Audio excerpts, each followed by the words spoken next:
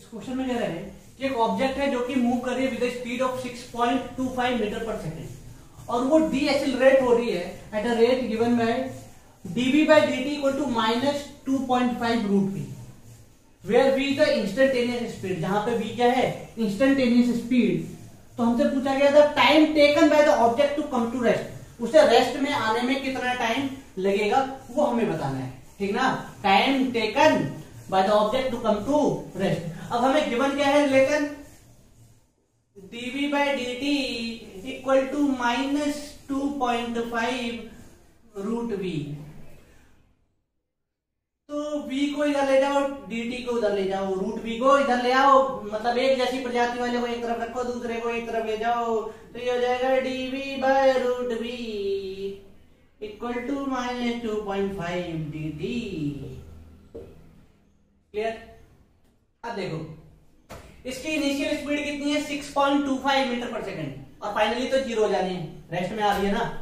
तो ठीक है सांप अप्लाई करो। सांप दोनों तरफ़ सांप लगा दिया हमने।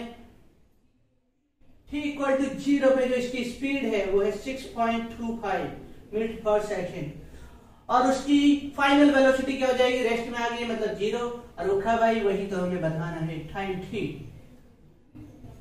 one by root v का जो इंटीग्रेशन होता है, वो होता है two root v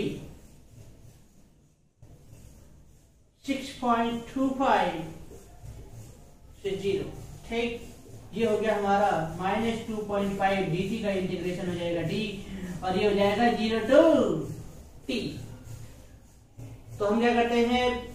पहले अपर लिमिट v की जगह रख दो अपर लिमिट ज़ीरो माइनस करके lower limit root six point two five clear और इधर हो जाएगा minus two point five three minus zero clear ये तो हो गया ज़ीरो और 6.25 2.5 हो जाएगा, इसका रूट हो जाएगा टू मतलब 6.25 रूट 6.25 ज़ीरो पॉइंट सॉरी 2.5 तो minus two into two point five equal to minus two point five three two point five से two point five cancel minus से माइनस कैंसिल तो थ्री इक्वल टू टू मतलब से दो second लगेगा रुकने में।